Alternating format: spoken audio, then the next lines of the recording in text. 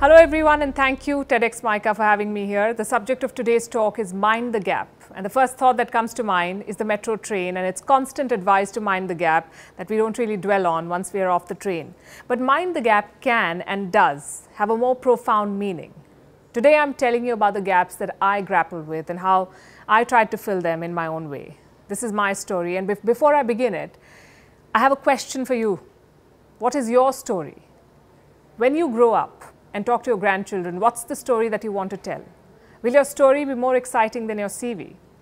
Or will you say you woke up, went to work, completed projects, met deadlines and targets, got promoted every other year, basically went through the motions of life, did not drop too many balls, but did not disrupt very much either?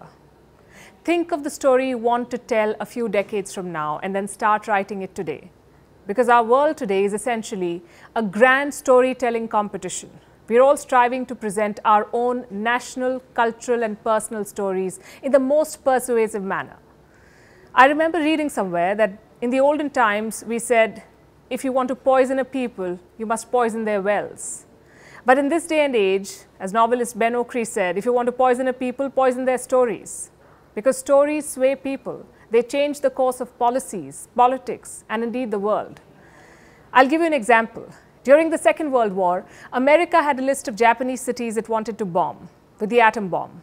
The city of Kyoto was on that list, but it was removed by the Secretary of War, American Secretary of War, Henry Stimson. Instead, they put Nagasaki. Why do you think he removed Kyoto? Because he'd gone there for his honeymoon, he'd seen Kyoto's beauty and culture, and he did not want to see it destroyed. You could say Kyoto's story saved it. And that's why it's very important to be in control of your story, to actively shape it.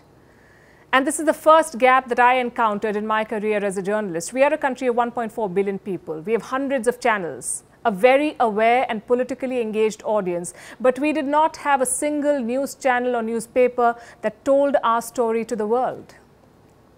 The New York Times writes something about India and it immediately becomes a Twitter trend. You may trash it, but you're still consuming it and reacting to it. The Economist weighs in on an Indian election and it becomes part of the political debate. We are letting the foreign press shape our self image. Which Indian newspaper triggers a similar response in the West? If there is disturbance in Kashmir, the world learns about it from the BBC or Al Jazeera.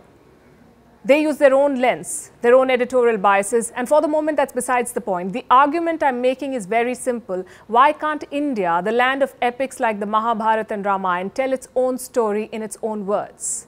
This gap was filled by WION, India's first international news channel of which I'm a part. Gap number two. You have a story, but why should anyone listen to it? There are multiple channels with heavyweight anchors all discussing the same story with the same guests, the same graphics, the same visuals, and the same decibel levels. We like that song, I'm just a copy of a copy of a copy. We all kept looking at each other and perhaps forgot the viewer. We wanted to do what someone else was doing, bigger, bolder, brighter, but not necessarily better. If you have 10 windows, I'll have 12. But we forgot to ask what the viewer wants. Do you want to see so many talking heads?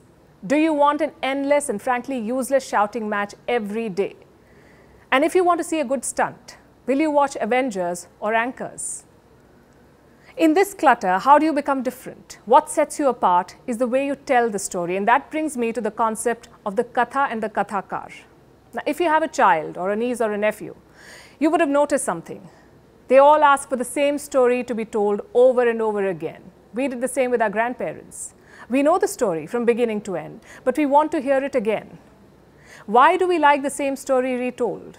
Because what is pulling us is not the katha or the story, but the kathakar or the storyteller, the manner in which that story is told. That's what holds the magic. How do we create this magic in news? Well, I was introduced to the life changing concept called orbit shift. It's a very simple concept. You all know what a gravitational pull is. It's, in the simplest of terms, it keeps you grounded, but it also prevents you from flying.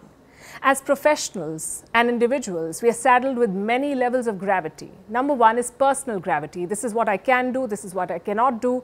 There is self doubt, and there are limitations that your mind sets for you.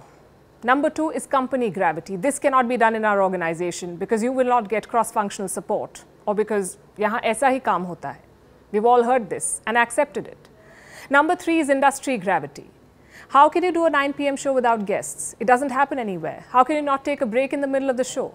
This is the industry practice, and soon it becomes industry gravity, and we do not challenge it. Number four is the social or cultural gravity, prejudice, preconceptions. In India, we, we flaunt the jugaad. We do not want a long term plan because we believe in figuring something out at the last moment with jugaad.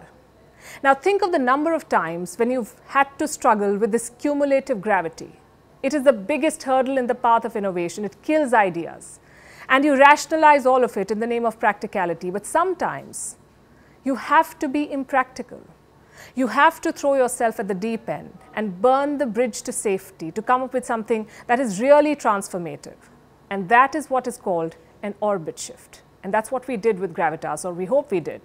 We created a prime time news and views show minus multiple guests. We went back to the drawing board to focus on tight scripts, on relevant subjects, research, analysis, fact checks, basic things really, which should ideally be SOP for all news, but they were not.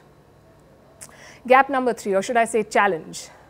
Who watches TV news anymore? There is an explosion of content around you.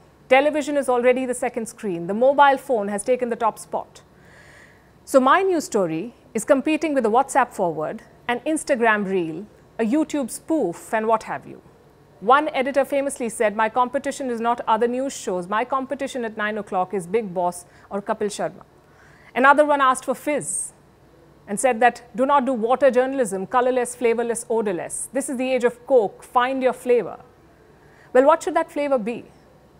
Inform without making a fuss give your viewer value for time. That's the flavor we decided on.